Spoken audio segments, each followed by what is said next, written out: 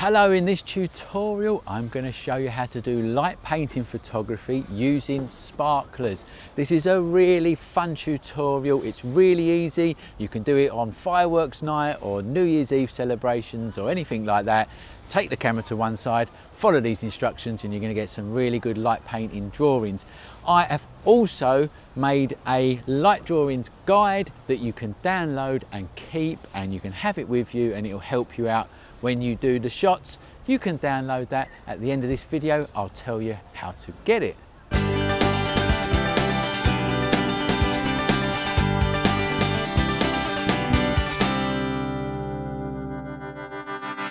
Hello, I'm Mark Newton from the School of Photography and you can find us at theschoolofphotography.com where we teach you the best in photography education. In this tutorial I'm going to show you how to do light painting photography using sparklers. It's really really easy. Firstly you're going to need a tripod Obviously you're going to need a camera, just use your normal standard kit lens which is fine to use and then here's the settings that you need to set it on.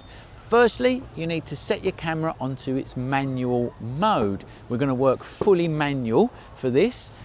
Set your aperture to f22, set your shutter speed to 15 seconds and set your ISO to 100.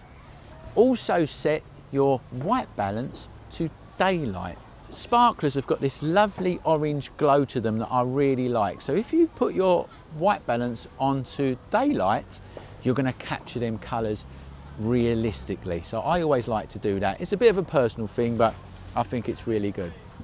Then you set your shot up. So let's do that bit now. Now this bit might get a bit difficult because your camera will find it really hard to focus in the dark and obviously we can only take these pictures in the dark. So this is what you have to do. You have to set your shot and frame it all up nicely so that your person who's going to have the sparkler is in the middle of your frame and you need to focus on them and then switch your camera to manual focus. And that way the camera's not gonna be focusing in and out and in and out. It's gonna keep that focus point. Because you're on F22, you've got loads of what's called depth of field. So it doesn't matter if they walk a meter in front or a meter behind, it's still gonna be pin sharp, okay? So you can use a torch to get your focus point if it's too dark and then you flick the camera to uh, manual focus. Here we go. There's my torch. And, and there we go. Now I've got the focus. I've got the focus, I could turn that off. And then I'm gonna switch my lens to manual focus. On my lens here, I just flick it to manual focus and I'm away to take the shot. The sparkler's being lit, the tension is high. The sparkler's lit, now I'm gonna hit the exposure.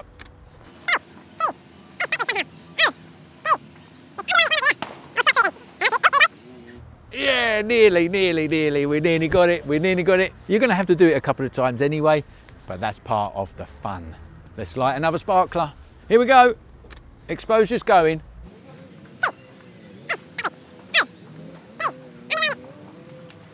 Ah, oh, that one's nice. That one worked out really well, actually. Good stuff. Here we go for another one. Go. Nice little cheesy one for us. Okay, the only limit there is your imagination. We've just done some really silly examples there, but you can imagine how far you can take it. Them settings are the settings you use to do light painting with sparklers. You set that up, uh, all you need is a dark space with them settings and you're away. I would love to see your examples of light painting with sparklers. If you want us to see them, upload them to Facebook or Instagram and tag us in at the School of Photography 1. If it's on Facebook, make sure your post is public. We will try our very best to feedback on your shots. We can't get round to everyone all the time, but we always, always try our best. If you've liked this tutorial, please press the thumbs up and subscribe to our channel. Follow us on social media and join our learning community. Thanks for watching and remember, learn more at the School of Photography.